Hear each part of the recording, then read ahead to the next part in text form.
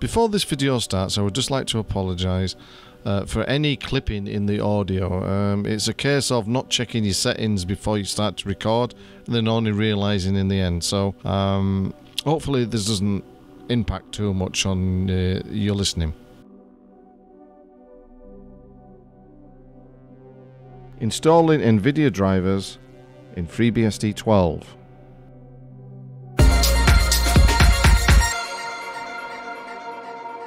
FreeBSD reviews, tutorials and gaming.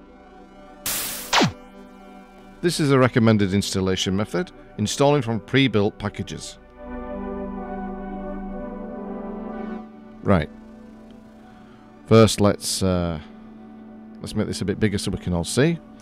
I'm going to search for some NVIDIA packages and see what it brings up. And you can see that there's uh, three available. There's 340, 304, and 390. Uh, the 340 and the 304 they are regarded as legacy drivers for older cards, and the 390 is the latest that's in the uh, package repository. It's not the latest available from Nvidia, uh, but that's for a different video. To install, make sure that you've got root privilege and pkg install NVIDIA driver. As you can see on screen, choose the one that you require.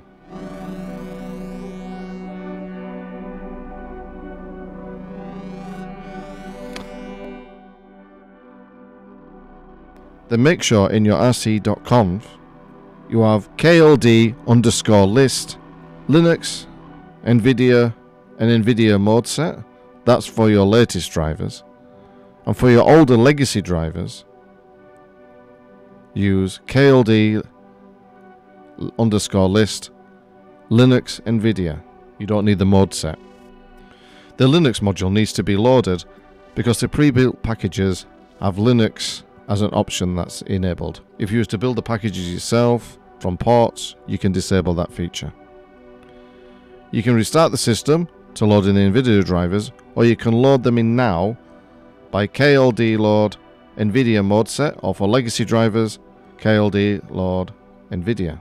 But make sure you put KLD load Linux before doing this. You shouldn't need an xorg.conf file as they haven't been needed for a while, but if you do, then we'll cover that in another video.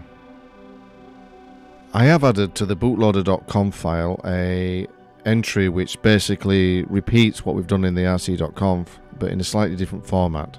This is really for my own peace of mind and a fallback to know that if anything goes wrong or I've got it wrong, which is probably more than often than not, uh, loading up the NVIDIA drivers in the rc.conf, then they'll get loaded up in the bootloader anyway. And besides, it won't hurt putting them in.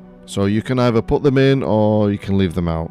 And that's uh, the reason for this is because I've chopped and changed uh, over the time for the different uh, NVIDIA drivers. I've gone with the pre-built packages, then I've installed them from port. and then lately I'm using 418 from the NVIDIA site itself. So I kind of I forgot where and when and different versions. So just for my own peace of mind, I've got two entries which will kind of cover my base really. You don't have to put this in, and it, uh, but it won't hurt if you do. Hopefully this helped, and if there are any more questions, then please leave them in the comments section down below. Okay, thanks for watching, and I'll catch you next time.